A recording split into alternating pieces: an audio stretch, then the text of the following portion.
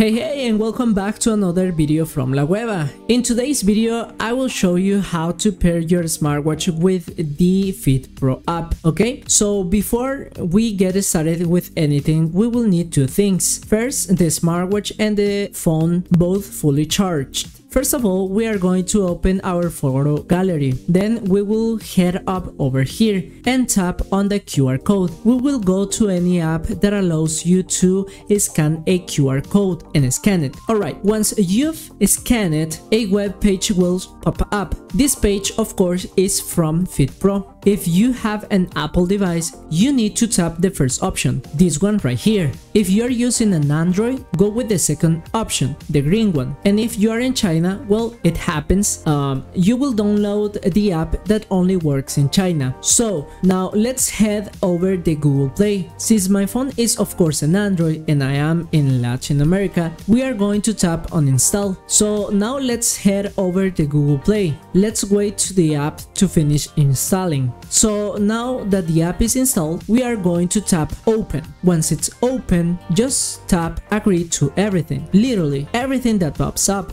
you are going to tap agree, allow, allow, allow, allow, allow, always. Now after that, we go to more settings and tap on blend device to experience more features. When doing this, always keep in mind, you need to keep your watch and your phone close together, both fully charged. Phone Bluetooth must be on and also the GPS location must be enabled. So here it shows me Ultra. I can go ahead and tap on that. Once I do, you will start to see the watch connected to the phone. You will see the time updated, everything will start syncing and that's it. And well, that's the video for today. I hope you like it and that it helped you out. If you enjoy it, learned something or it was useful for you, give me a like, comment and share this video. It really helps us a lot to reach more people. And without anything else to say and see you in the next one. Bye bye.